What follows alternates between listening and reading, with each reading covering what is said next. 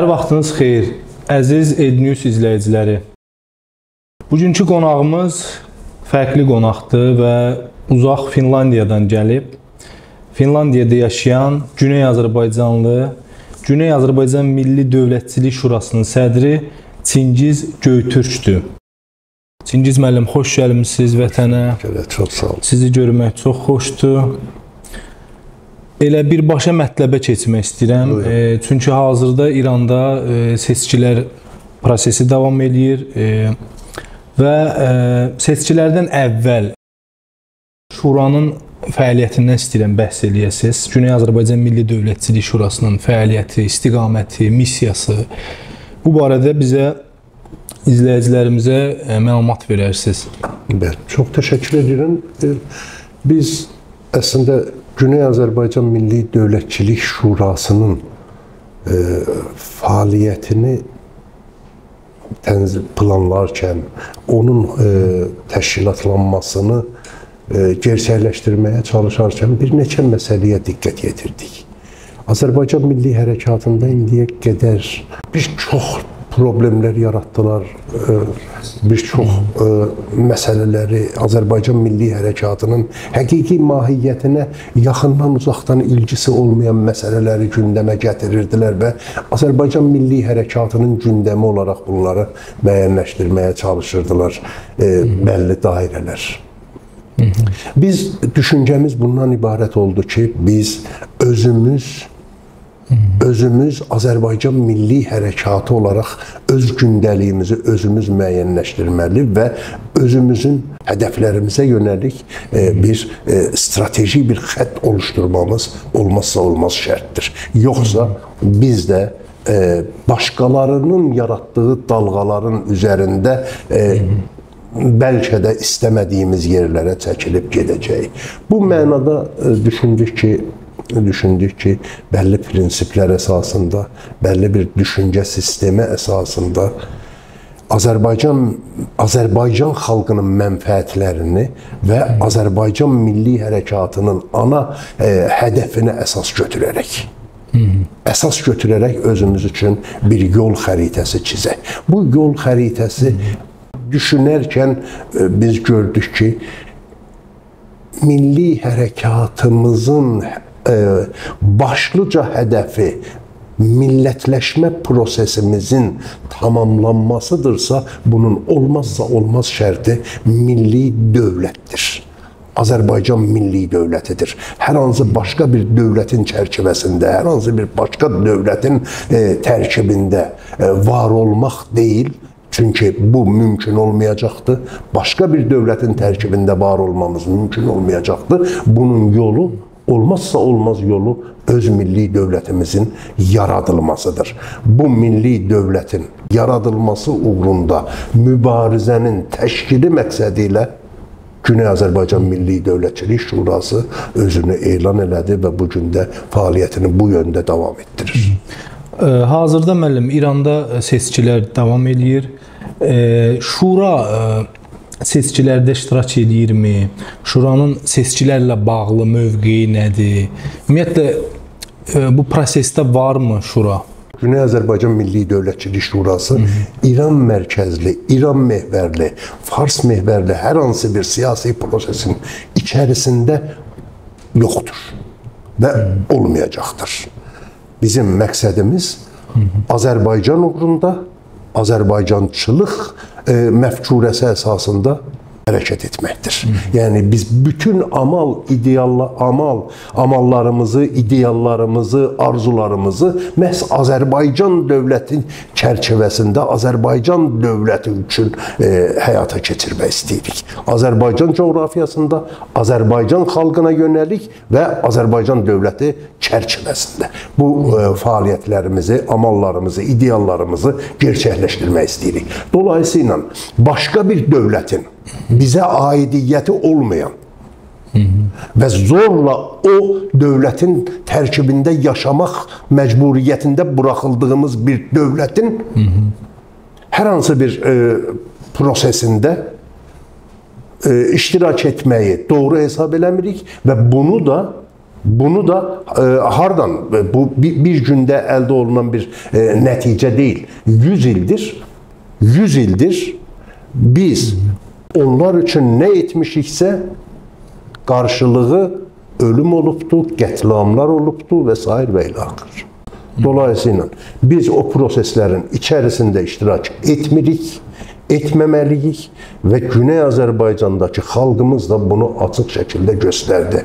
Təbriz meydanlarında Təbriz meydanlarında Bərayi İran şüarı ilə, yəni İran üçün, Bərayi İran, yəni İran üçün şüarı ilə çıxdılar və orada İran milli marşını səsləndirərkən Təbriz bozqurtları çıxdı və milli İran milli marşının səslənməsinə imkan vermədi. Və dedilər ki, bura Az Azərbaycandır. Və Rəşid Behbudovun e, e, səsləndirdiyi mahnını səsləndirdilər. Anam doğma vətənim sən Azərbaycanım. Mənim vətənim İran deyil. Mənim vətənim Azərbaycandır.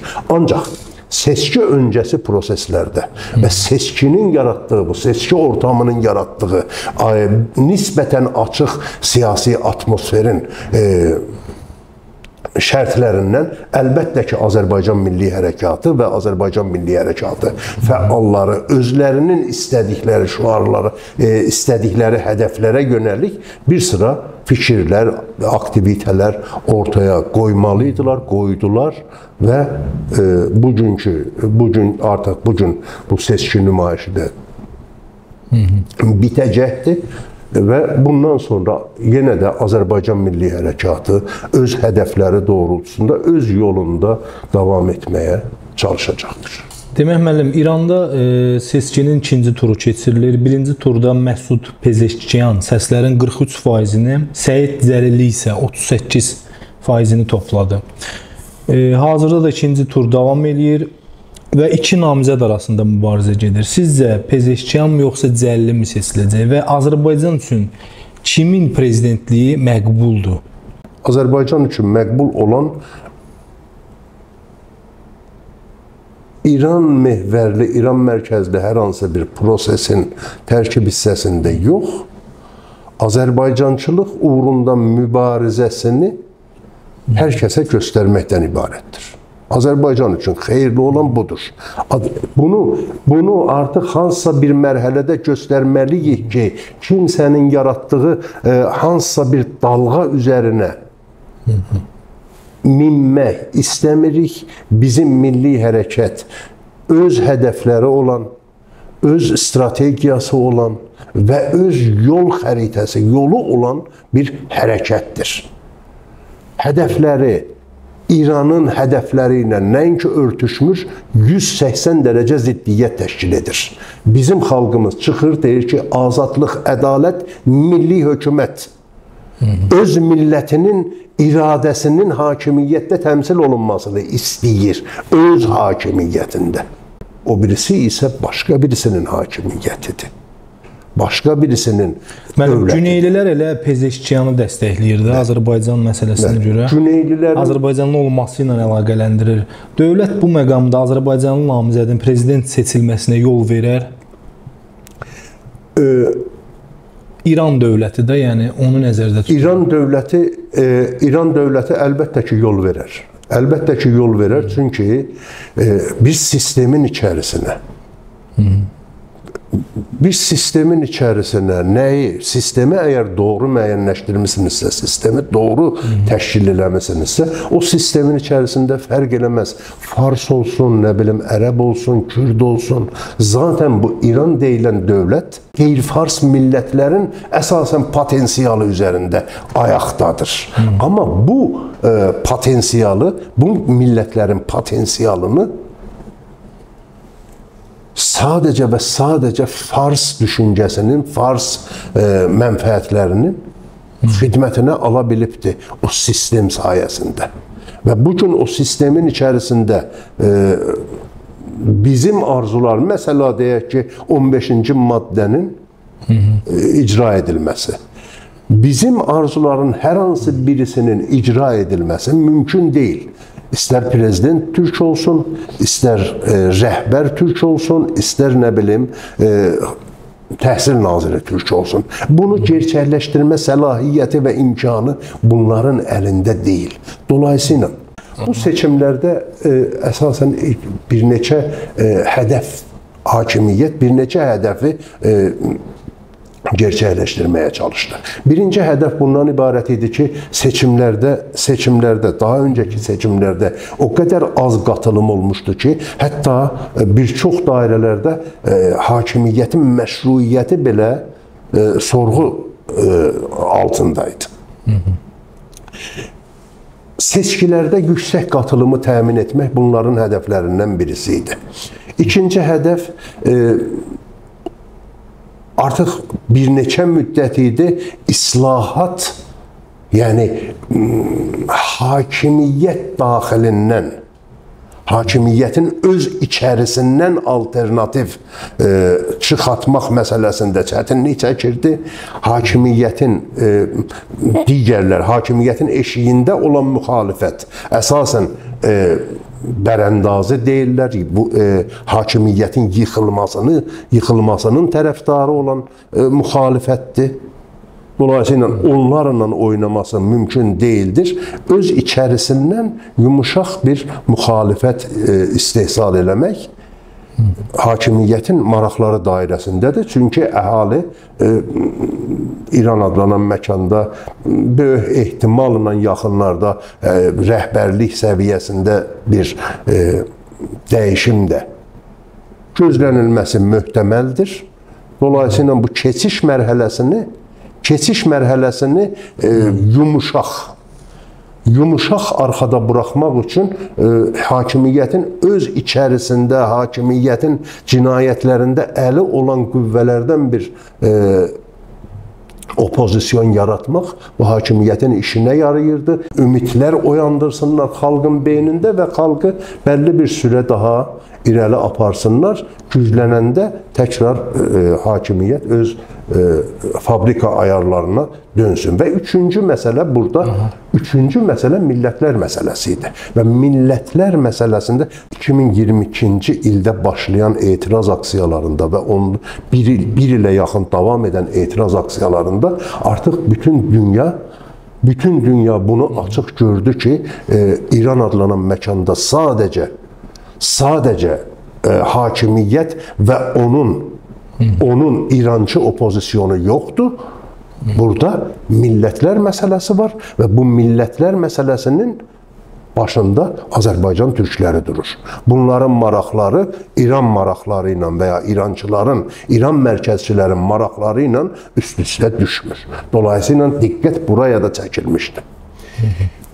Bu qeyri-fars millətlərin hərəkatlarını da İran çərçivəsində məhdudlaşdırmaq üçün ən yaxşı faktorlardan birisi, ən yaxşı yollardan birisi ondan ibarətdir ki, e, hakimiyyətdə türkün təmsil olunması kimi bir ab-hava yaratsınlar və e, bununla e, bununla e, yəni bu mərkəzdən qopma istəklərini mərkəzə daha çox bağlama arzuları ilə dəyişdirsinlər. Bunu hədəflədilər. Bunu hədəflədilər, amma xalqımızın meydanlarda olmasına baxmayaraq biz seçkilərin keçən həftə elan olunan seçkilərin nəticələrində biz gördük ki, qabaqki seçkilərdən heç bir fərqi olmayıb. Azərbaycanda, yəni Azərbaycanda Qabaqki prezident 3 il bundan qabaq keçirilən prezident seçkilərində də yenə də 40% iştirak eləyirdi. Bəli. Bu seçkilərdə də yenə 40% iştirak eləyibdi. Yəni millətimiz ayıq və sayıqdır. Öz hədəfləri üzərində də israrla durur. Müəllim, sonda ə, e, Güney Azərbaycanlıların da, yəni aqibəti necə olacaq? İşıqlı günlər görüləcəkmi? Görəcəkmi yəni işıqlı günləri ki, yəni nəticə olaraq onların da öz azad bir həyatı olacaq. Bu bir prosesdir, başlayıbdı. 30 neçə il bundan qabaq Azərbaycanın güneyində olarkən e, mənim müəllimim rəhmətlik doktor Zehtabi ilə bu məsələləri çox müzakirə elərdik. O zaman e, məsələ Təbrizdə bu düşüncələr bizim bu gün daşıdığımız düşüncələri daşıyan insanların sayısı barmaq sayını keçməzdi. Barmaq sayını keçməzdi. 30 il sonra gəlirik e, e, və 30 il sonra, 30 neçə il sonra məsələlərə baxırıq. Artıq artıq e, Təbrizdə Təbrizdə insanlar İran milli marşının səsləndirilməsinə icazə vermirlər. Yəni bu inkişaf edən bir prosesdir və bunu kimsə deyə bilməz ki, məsələn 5 il sonra bunu eləyəcək, 3 il sonra bunu eləyəcək. Xəyal satmaqla bu olmayacaqdır. Azərbaycan Milli Hərəkatı çox ciddi bir inkişaf sürecini arxada buraxıbdı, amma inkişaf etdirilməsi gərəkən e, məqamlar var, məqamlar var. Özəlliklə nəzəri sahədə, nəzəri sahədə ortadan qaldırılması gərəkən çox ciddi problemlər var. Kadr potensialı baxımından ortadan qaldırılması gərəkən çox ciddi problemlər var və sadəcə bu hakimiyyəti yıxıb Sadəcə bu hakimiyyəti yıxıb o mərhələyə qədər düşünüb və ondan sonrasını boş buraxmaq kəsinliklə böyük bir intihar girişimi olar. Bu hakimiyyətdən sonrakı mərhələni də düşünmək məcburiyyətindəyik. Bunun düşünmə, düşünməsinin yolu da öz dövlətçiliyi uğrunda e, bütün nəzəri fəaliyyətlərin, nəzəri və əməli fəaliyyətlərinin fəaliyyətlərin tamamlanmasından ibarətdir. Bu süreç tamamlandığında millətimiz azad olacaqdır. Öz millətimizin iradəsi onun hakimiyyətində təmsil olunduğunda bu millət azaddır. Və onun yolu öz dövlətini qurmaqdan keçər. Çox sağ olun, təşəkkür edirik. Mən təşəkkür edirəm. Əziz Ednews izləyiciləri, sağollaşırıq sizlə növbəti görüşlərə qədər. Sağ olun.